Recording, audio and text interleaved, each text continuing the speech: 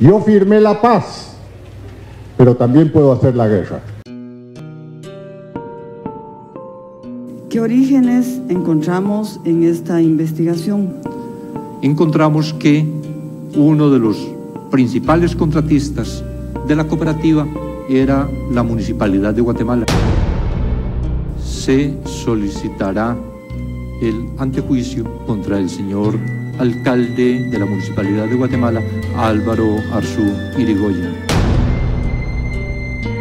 Yo he venido acá para verle la cara a estos dos.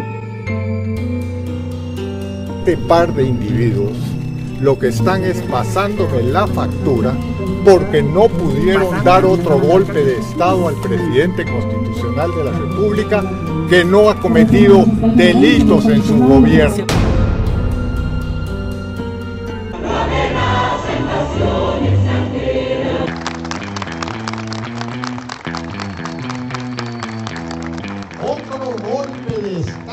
Guatemala sería un desastre.